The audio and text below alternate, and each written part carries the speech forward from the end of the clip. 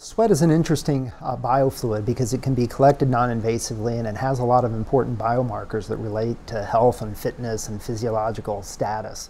And our goal was to develop a new kind of technology, a thin, skin-like, soft device platform that can um, integrate directly with the skin uh, and capture sweat as it's released from uh, sweat glands, route it around in very tiny microchannels that are embedded in this very thin, soft material, and perform colorimetric analysis of key biomarkers for the purposes of, of health and wellness determination. So this simple device allows us to measure uh, total sweat loss, sweat rate. The colored spots actually are responsive to different uh, targeted biomarkers, and their change in color can be uh, quantitatively evaluated using the, uh, the camera on the smartphone.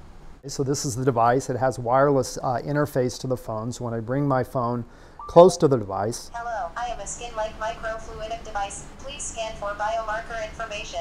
So it launches an app. Uh, it provides that uh, voice recognition that there's a connection here, uh, and then the, the phone takes a picture of the device. And from analysis of the colors of these different uh, reservoirs that are filled with these color responsive chemical reagents, we can determine quantitatively the glucose level, the pH, the lactate concentration, the chloride concentration, as well as the total sweat loss during a given period of exercise.